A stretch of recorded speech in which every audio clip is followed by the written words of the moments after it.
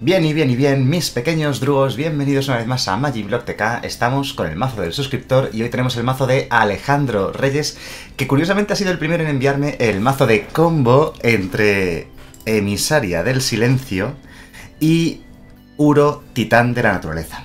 También se puede intentar con el otro titán, que es Croxa, ¿vale? Que es rojo-negro, y hacer una, una Mardu, ¿vale? Blanca, roja, negra, pero todavía nadie me ha mandado ese mazo. Si me lo manda alguien ya veremos si sale publicado. El caso es que mm, el mazo de Alejandro Reyes me ha llamado la atención porque, bueno, obviamente es una Bant, porque claro, la, cuestión es que la emisaria del silencio eh, impide que se disparen las habilidades de entrar en juego de las criaturas, ¿vale?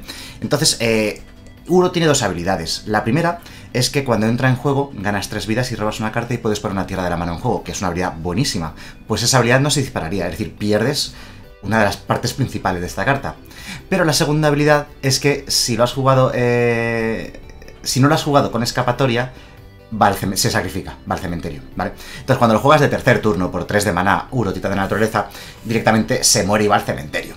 ¿Qué es lo que pasa? Que si tienes emisaria del silencio, impides que vaya al cementerio y se queda como 6-6, pero también pierdes la principal habilidad de la criatura, que es ganar 3 vidas, robar carta y poner tierra de la mano en juego. O sea, es una cosa por otra realmente, sí, pero tienes un 6-6 en el tercer turno, que no está mal. Sin embargo, ¿realmente merece la pena? Hay un montón de criaturas que por 4 son un 5-5, un 6-6 incluso, incluso buenas, ¿no? Ahora mismo no me acuerdo del nombre, pero teníamos en Gremios de Ravnica una carta que no sé, se ha olvidado la gente de ella, ¿vale? Pero que era mítica, De Ravnica, que era de color verde, es que no me acuerdo del nombre, el Ferox Piel Impenetrable, que por 4 es un 6-6, con habilidades buenas, tiene antimaleficio, bueno, habilidades buenas o malas, según se mire, ¿vale? También tiene, no puedes lanzar hechizos que no sean de criatura. Si te lo descartan de la mano, lo pones en juego directamente. Cualquiera puede pagar dos para que pierda el antimaleficio.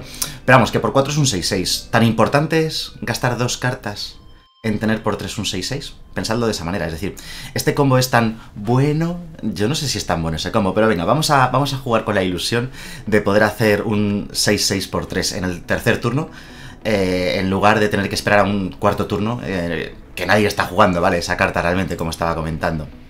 Bueno, reiniciamos esto y os comentamos la baraja, ¿vale? Como digo, pues es una band ramp y me gusta mucho de las cosas que lleva, un poco brutas, la, verdad. Yo creo que eh, el metajuego ha evolucionado un poquillo y hemos encontrado otras sinergias y la gente ya no está jugando manipulación masiva, está jugando agente de la traición que es bastante, bastante mejor, sencillamente. Porque puede robar cualquier permanente, incluso tierras, ¿no? Eh, tierras, encantamientos, artefactos, etcétera, etcétera. Pero la manipulación masiva solo es para criaturas o planeswalkers. Entonces, bueno, pues... Y además cuesta cuádruple azul. Y además el agente de la traición, pues tiene sinergia con... Con Tasa. Sin embargo, en cualquier caso, la agente de la traición...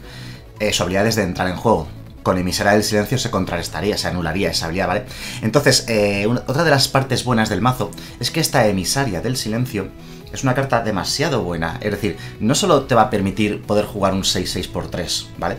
Sino que además... Ah, por cierto, y luego cuando ataque Uro, porque su habilidad también se dispara cuando ataca, esa sigue estando, ¿vale? Entonces no pierdes todo el Uro realmente, ¿vale? Lo que decía, Emisaria del Silencio impide que la habilidad de Agente de Tradición se dispare y otras muchas habilidades de criaturas que hay actualmente en estándar. Y esa es la parte buena, que hay mazos como Simic Ramp, que es que los partes por la mitad. Los mazos Simic quedan partidos por la mitad con la Emisaria del Silencio porque muchas de sus criaturas tienen habilidades de entrar en juego, fundamentalmente contra Simic. Contra otros colores no es tan buena, pero especialmente contra verde y azul fundamentalmente, ¿no? Y eso es muy bueno, ¿no? Entonces la Emisaria del Silencio gana, gana muchos enteros.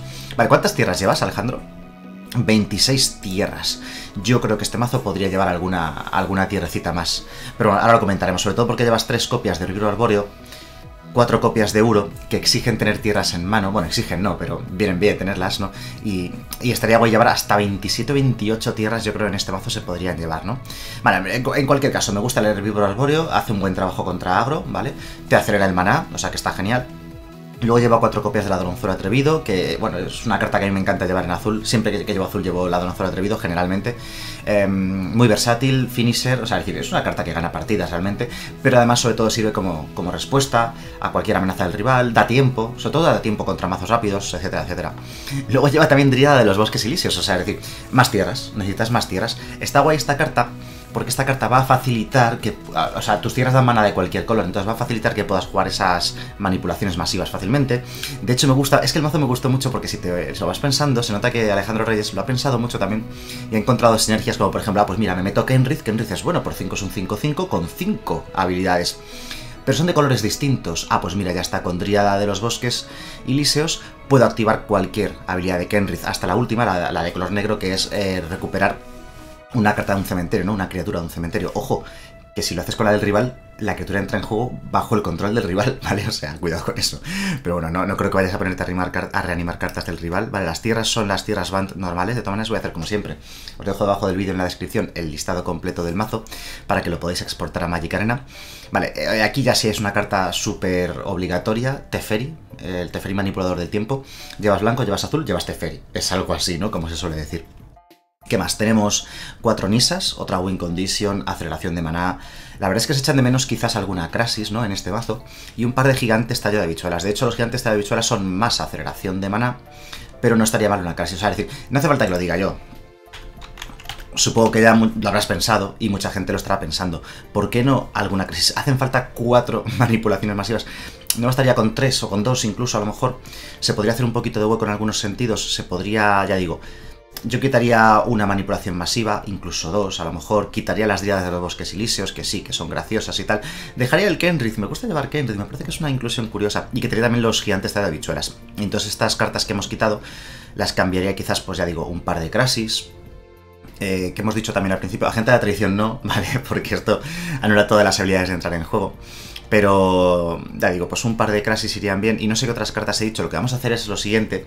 Vamos a probarlo. Vamos a echar un par de partidas con el mazo. De hecho, me lo voy a apuntar, ¿vale? El listado completo lo voy a... ¿Dónde estamos? Aquí está, Alejandro Reyes. Lo voy a apuntar, ¿vale? Por si luego se me ocurre modificarlo, echamos un par de partidas con mis modificaciones y eso. Y, vamos a jugarlo en, en, partida amistosa porque, bueno, es un mazo en fase de pruebas, ¿no? Ya sabéis que la sección de mazo del suscriptor, pues es una sección que se nutre de los mazos que me vais enviando. Recibo muchos mazos, estoy constantemente trabajando en ellos y me vuelvo loquísimo. Porque es que cada, ¿Cuánto dura este vídeo? Media hora, ¿vale? Durando los vídeos. ¿Qué ocurre? Que cada media hora, o sea, en esa media hora tengo que entender el mazo. Bueno, lógicamente antes de, antes de mostrarlo en vídeo ya lo he estado mirando, ya he estado pensando en él, ya he jugado alguna partida. Así que ya me hago una idea de cómo funciona, ¿no? Pero realmente es muy poquito tiempo. Mira, esta mano está muy guay. Muy, muy guay. Porque podemos hacer Teferi de segundo turno. O Gigante Tallo de Habichuelas de segundo turno y de tercero, Nisa. A lo mejor vamos a por la Nisa directamente. Vamos a ver qué hace el oponente antes de nada. Y en función de eso podemos tomar la decisión. Nos falta una tierra para poder hacer Nisa de tercero. Dos Nisas. Ya digo, tenemos dos opciones. O vamos a por el gigante o vamos a por, el Teferi. Le podríamos subir a la mano el token de comida. O la gansa. Cualquiera de las dos opciones podría ser buena. Me la voy a... Eh, nos falta, nos falta, claro, tenemos blanco-azul, no me da cuenta. No podemos. Tenemos blanco-azul, pero nos falta que sean dos tierras distintas, ¿vale? Así que o llanura o isla. Supongo que es mejor la isla teniendo en cuenta las cuatro manipulaciones masivas que llevamos. Y ahora, cruzamos dedos, tocamos madera y si robamos tierra tendremos, tendremos nuestra Nisa de tercer turno, lo cual puede ser una pasada. De momento el oponente juega tierra girada, tiene solamente dos de mana para este turno y juega una siguiente Gansa. O sea, es posible que él también nos juegue una Nisa en el siguiente turno. También es posible que quien juegue Nisa en primer eh, lugar en esta partida gane la partida. Parece que es una especie de Simic. ¡Ah, qué pena! Vale, tenemos dos opciones, obviamente, o Teferi o Uro, ¿vale? Creo que voy a ir a por Teferi, que nos va a dar una carta extra y nos va a impedir que nos clave una Nisa él en su siguiente turno. Yo qué sé, le vamos a subir este. Daría igual casi, ¿no? Pero bueno. Vale. No atacamos ni nada, pasamos turno. Esto tiene alcance, por cierto. A ver, ya sé que esto no pega y tal, pero que se, que se suele olvidar, ¿no? Que esto tiene alcance. No hemos robado tierra todavía. ¿Veis este mazo? Si un par de tierras más no le irían mal, ya lo estoy empezando a notar. La emisaria del silencio puede ser buena contra él, ¿vale? Porque al ser una Simic, llevará gente de la traición. Venga, hombre, qué mala suerte.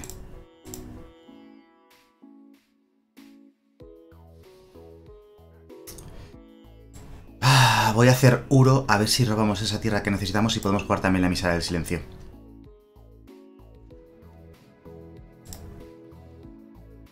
Dame una tierra por fin. Venga, perfecto. Ponemos esta, pagamos dos vidillas y ponemos la misa del silencio en juego ya.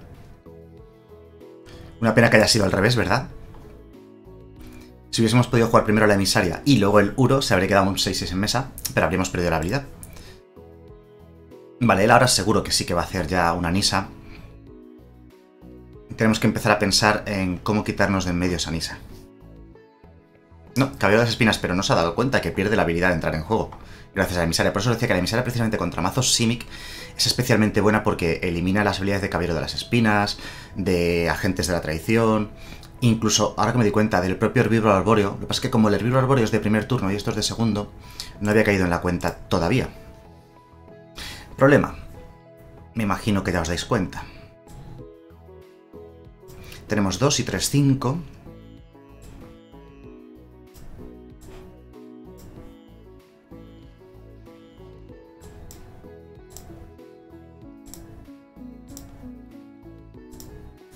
Creo que voy a atacar, ¿de acuerdo? Y con... En la fase de ataque le subo esto a la mano. Es que también tiene alcance, me impide atacar incluso con esto. Poner el control por si acaso, que me da muy mal rollo el tema de...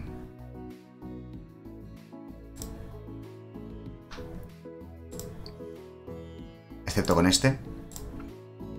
Vale, ya están atacando. Entonces ahora puedo subirle la mano esto. Con la propia tierra que está atacando. Queda atacando aunque se gire. Por cierto, pues alguien no sabía esos detalles y pegamos de 4. Bueno, aquí obviamente a la emisaria de silencio la va a bloquear, pero no importa porque la emisaria de silencio tiene vínculo vital, entonces siempre algo sales ganando con esa jugada, ¿no?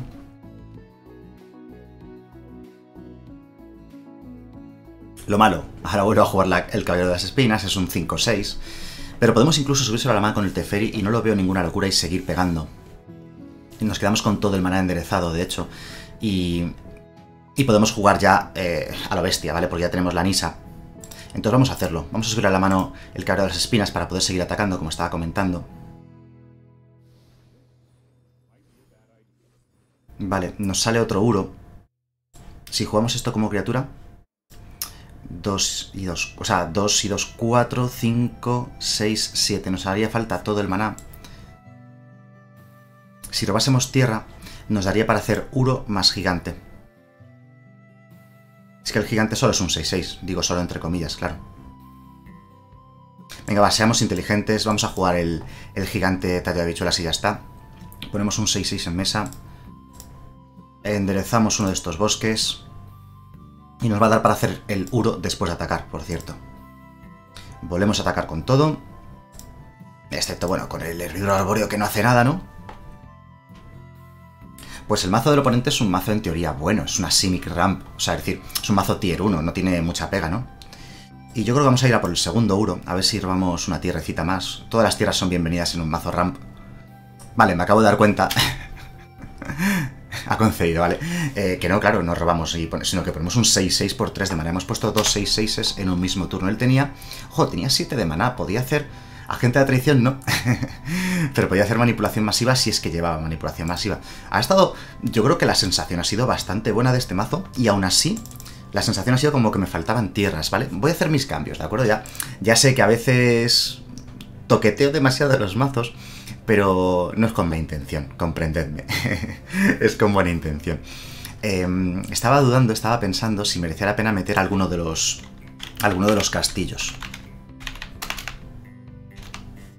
El castillo blanco, el azul o el verde. No sé si a lo mejor una copia del castillo azul podría incluso venir bien. Voy a meterla, ¿vale? Porque además llevas... Eh, estas son 8 islas y otras 6, 14 islas. El mazo lleva muchas islas. Así que metemos una vigésimo séptima tierra, como estaba comentando. Y, em, y no sé si meter pues un bosque más o una llanura más. El mazo lleva algunas cartas que requieren verde. Lo que menos requiere es blanco, obviamente. Pero bueno, lo requiere para las emisarias, los Kenrith, los Teferis, o sea, algunas cartas sí que requieren esa llanura, ¿no? Vamos a meter una llanura más para asegurarnos tenerla y tal. Y ahora mismo el mazo tiene 62 cartas, lo que decía. Y si... A ver, los gigantes tallos de habichuela no me han convencido demasiado. Y cuatro manipulaciones masivas puede ser excesiva. Vamos a dejarlo en tres. No quiero toquetear mucho el mazo, ya os digo. Em, los, los ladronzuelos atrevidos me gustan. Todo lo demás me gusta. Y como he dicho, habría que intentar hacer hueco quizás a una Crasis o a dos Crasis por lo menos, ¿no? Voy a quitar una Dríada de los bosques. Y la verdad es que la veo de las menos útiles del, mazo. La verdad es que sí que está guay para poder activar el Kenrith, la parte roja, la parte negra, pero realmente tampoco lo necesitas tanto. Y ya digo, pues un par de Crasis siempre van a venir bien, ¿no? Un par de Crasis me parece que van a ir bien en un mazo de este estilo. Hemos subido 28 tierras, ¿verdad? Venga, va, vamos a probarlo así, a ver, a ver si funciona bien. Pensad que realmente robas bastantes cartas con Uros, con Teferis, ¿vale? O sea, tienes aquí un poquito de manipulación de biblioteca. Mm, si le sumamos las Crasis, pues mejor todavía. Pero es que no veía el mazo sin estas, sin estas Crasis. No sé si antes dije algún otro cambio que se me ha olvidado sobre la marcha. Puede ser. Pero es por proponer algún cambio. Ah, por cierto, una cosa. Antes de que se me olvide, ya sabéis que debajo del vídeo, en la descripción, os dejo el listado completo del mazo. Primero el original de Alejandro Reyes y ahora la canción que está sonando de fondo es una copia barata. Pero sin derechos. De Guns N' Roses, ¿verdad? ¿No? No, me estoy, no me estoy rayando. No me estoy equivocando. Venga, va, vamos a jugar otra partida ahora con mi, con mi versión. Ya digo, no me gusta modificar mucho los mazos. También es una cosa que, según han ido pasando los meses y he ido haciendo esta sección, eh, he ido aprendiendo cómo, cómo hacerlo mejor. La verdad es que siempre estoy leyendo vuestros comentarios en los vídeos, en, en las redes sociales, en los chats, cuando hablamos en directo y ese tipo de cosas. Ya sabéis, todas las noches en Twitch, de lunes a jueves, en directo. Vale, yo creo que vamos a, vamos a forzarlo y vamos a quedárnosla porque llevamos 28 tierras. Es muy fácil que robemos la tercera y la cuarta tierras. Y si robamos la tercera... Si robamos la tercera, aunque no tengamos isla, ¿vale? Pongámonos en el peor de los casos que no tengamos isla, llevamos 16 islas. Podremos jugar el Uro igualmente gracias a la Dríada. Así que al final la Dríada nos va a hacer un favorcito y todo.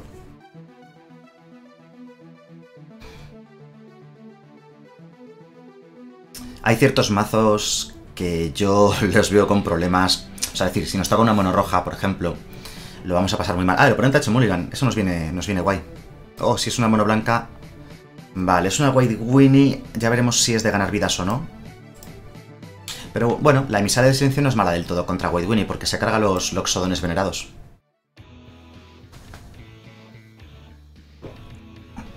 Todavía no sabemos si es una de devoción o de ganar vidas. Bueno, de ganar vidas, bueno, tampoco estoy seguro, ahora lo veremos. Joder, meto dos tierras más y me salen menos tierras. Vaya gafe, ¿no? Voy a pagar las dos vidillas, vamos a poner la emisaria del silencio, que hace cosas. Aparte de bloquear bien a estos, impide habilidades de entrar en juego. Por ejemplo, eh, Daxos. Daxos tiene una habilidad de entrar en juego las criaturas que ganan una vida cuando una criatura en juego, por ejemplo. Pero ahí está, el Loxodon se pierde. Si no robamos tierra, uff, menos mal que hemos robado tierra. Voy a pagar dos vidillas, otra vez, one more time. Y yo creo que si le ponemos un 6-6 en mesa, yo creo que algo le va a chantar. Y voy a atacar. A ver, es bastante probable que él tenga Tribunal del Cónclave o algo y nos mate este euro, ¿vale? Es probable, podré vivir con ello. Ese ataque es muy extraño. ¿Qué puede llevar un mazo blanco que me mate al Uro? Es que el ataque es muy raro. Estaba dudando, iba a bloquear al Alseide, sinceramente, antes que al Loxodon, porque pensé, bueno, mismo tiene algún tipo de dopador o alguna cosa extraña, ¿no? Ha concedido. Es que simplemente eh, el, Uro iba a matarle su 4-4, ¿vale? Vamos a echar otra. El Uro iba a matarle su 4-4. Y luego, cuando atacase Uro, robaba carta me daba tres vidas y ponía una tierra de la mano en juego. Es una ventaja de cartas muy grande. Y es que yo creo que se ha equivocado. Yo creo que ha hecho el Loxodon sin darse cuenta lo de la emisaria. El rival debía ser un poco como yo, ¿no? El estilo que se le olvida las cosas o que no lee las cartas o lo que sea. Vale, wow, wow, wow, wow, wow. Tenemos Teferi de segundo. Esta mano está, está guay. Me gustan mucho los herbívoros arbóreos. En este tipo de mazos de 28 tierras. Lógicamente, y además tenemos los tres colores. En mazos de menos de 27 tierras no llevaría herbívoro arbóreo. Y uro, o sea, es que los llevamos todo, ¿no? Ah, azul blanca. Voy a hacer el menos 3 ya. Porque casi seguro que no... Casi seguro que no va a jugar ningún permanente que quiera yo subirle la mano. En el segundo turno. O sea, por ejemplo, va a jugar eh, ¿No? Uy, es una Band. Es una especie de mirror, entonces. Pues mira, esto sí me habría gustado subirse a la mano. Pero, ¿quién iba a saber que iba a hacer eso? Voy a jugar tierra de turno. Si robamos una isla, podríamos hacer el ladronzuelo atrevido a esa tierra, lo cual sería muy bueno. Venga, vamos a ello. Venga, una islita, dame una islita, por favor. Dame una islita. Sé bueno, Uro. Nah, no ha sido suficientemente bueno. Band... Yo qué sé. Juego esto, no hace nada. Tenemos otro uro más en mano. lo, tiro, lo tiro a la mesa. no va a cambiar en nada la partida. No son muros, ¿vale? O sea, este bicho puede atacar. Es un 0-3 alcance. Si puedes hacerlo crecer de alguna manera... A ver. Encarnación Enigmatic. Sí que tenía permanentes que quería subir a la mano, sí. Si lo hubieses llegado a saber, si me hubiese llegado a imaginar nada parecido...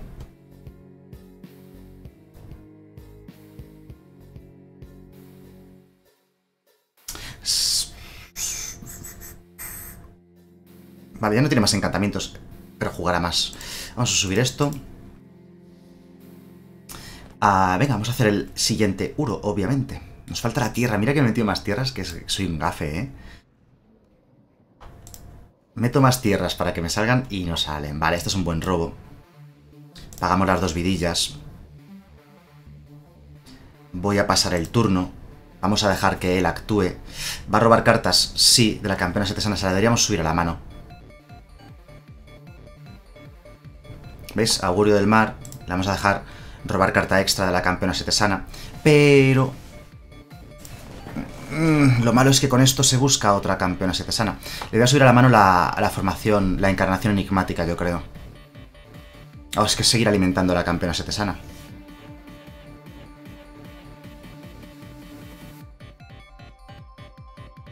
Aquí sí se la liamos un poquillo porque pierde la carta de la propia campeona setesana y la carta de, del entrenamiento setesano, lo malo, que ahora se busca otro, otra campeona setesana. Ah, no, alguacil de atención. Supongo que a Teferi. Vale, eso no es tan grave. No es tan grave como vamos a ver a continuación.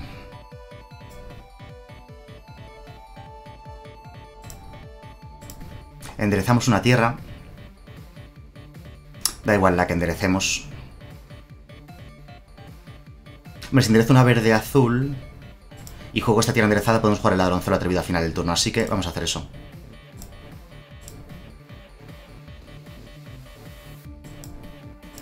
Vamos a hacer eso, sí. Y al final de su turno jugamos el ladronzuelo atrevido. Vale, va a jugar campeona setesana, pero con un poquito de suerte, si no tiene otro encantamiento barato en mano, no va a poder robar carta y hacerla crecer, y podremos seguir atacando limpiamente. ¡Oh, luz del destierro! No sabe que tenemos otra. A ver a quién hace objetivo primero, antes de nada. Obviamente Anisa, así que en respuesta jugamos ladronzuelo atrevido y es posible que al haber hecho esta jugada haya perdido la partida. Fijaos que no tenemos ni una sola carta en el cementerio. Llevar 4 euros en este mazo... A ver, claro, llevas 4 euros, 4 euros porque tienes las... Porque tienes las, em, las emisaras del silencio. Esto no le va a hacer gracia cuando lo vea.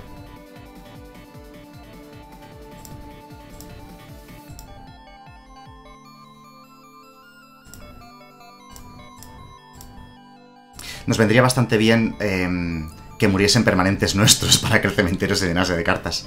Voy a jugar tierra, ¿vale? Porque esto es una ramp, así que por el que dirán. Le quedan cuatro vidas, ¿eh? Le va a ganar la ladrona, el ladronzuelo atrevido al final. Vale, encarnación enigmática va a sacrificar, obviamente, la luz del destierro para devolvernos la Nisa.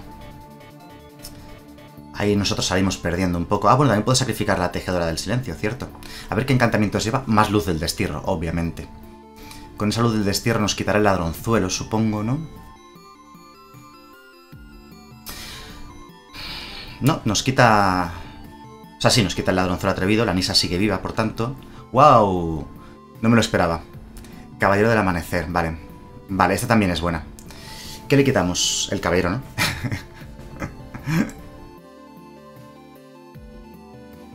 Tenemos cuatro islas justitas, ¿no? Tenemos dos y 5, 7 de mana. Uy, si llegamos a tener uno más...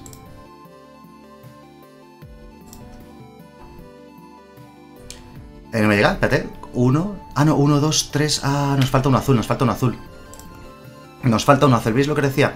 Aquí vamos a tener problemas de mana azul. Estaba bastante claro.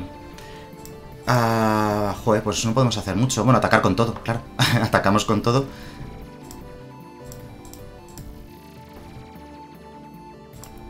Y tiene que bloquear con los alguaciles de atención. Al menos uno de los dos eh, atacantes. Claro, había contado esto, no sé por qué he visto esto como una tierra azul. Una, dos, tres azules teníamos. Vale, aquí recuperamos el Teferi. Y con el Teferi podemos... em, vamos a ver qué hacemos. Subir algo a la mano. Ah, mira, pues por ejemplo podemos subir algo hacia la detención, pero no serviría de nada porque automáticamente perderíamos... eh, o sea, le daríamos algo y volvería a jugar. Quizás... El caballero.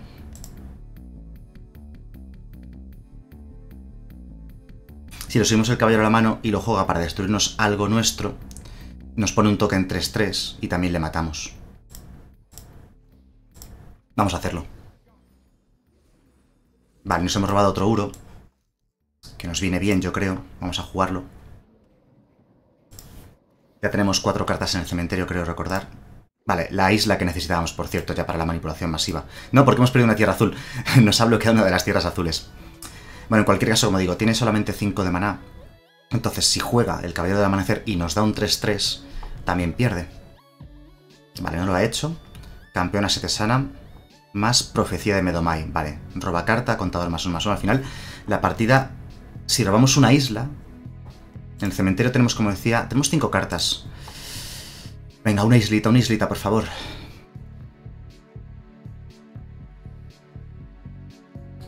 Vale, esto era de coste 2, así que se busca otra campeona setesana.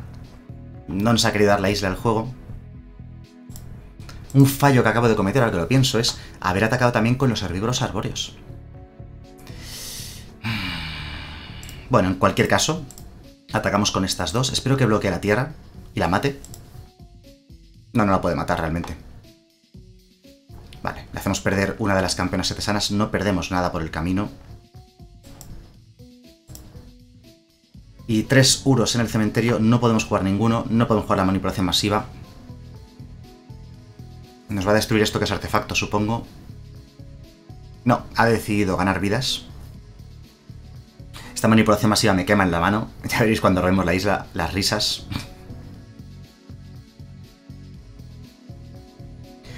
Más uno más cero, por tanto ya puede matarnos los 3 3 con esto. Y esto ha subido a 3-5. Venga, una islita. Venga, a ver qué sacrificas. Nada, no sacrifica nada. Vale.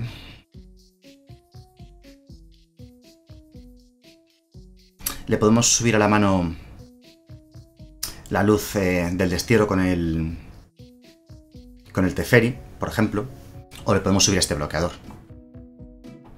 Y está obligado a bloquear a las dos, no necesariamente. Bueno, sí, sí lo va a estar, sí. Ninja tenemos una en mano, creo que... Espérate, si tiene dos, no he dicho nada, no he hablado.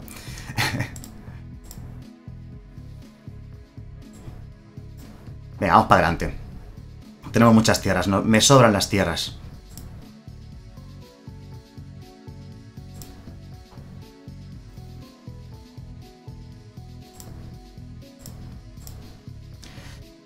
A atacar con todo. Está obligado a bloquear. Vamos a perder, espero que una de las tierras para poder jugar este, este Uro.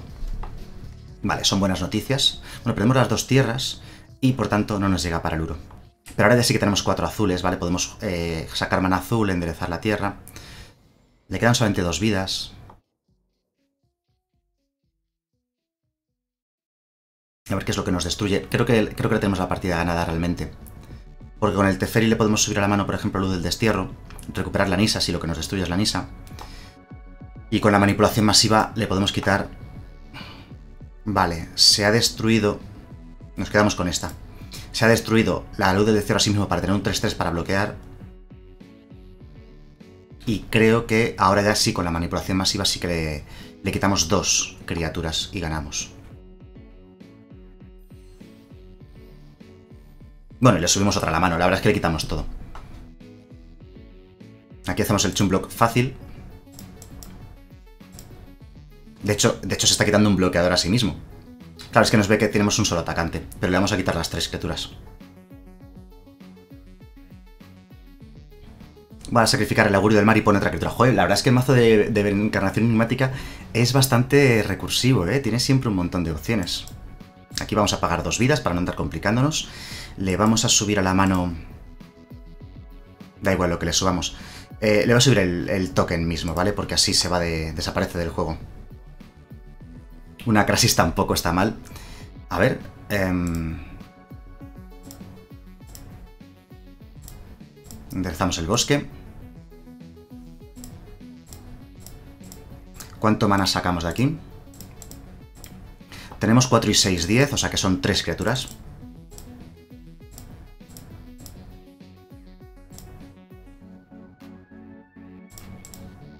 Bien jugado. Vale, buena partida, ¿eh? Ha salido una partida muy guapa. Un mirror de Band, la suya con encarnación enigmática, la nuestra con Uros y emisarias. No nos han salido las emisarias, ahora está gracioso. Pero la verdad es que un mazo muy, muy divertido, muy interesante.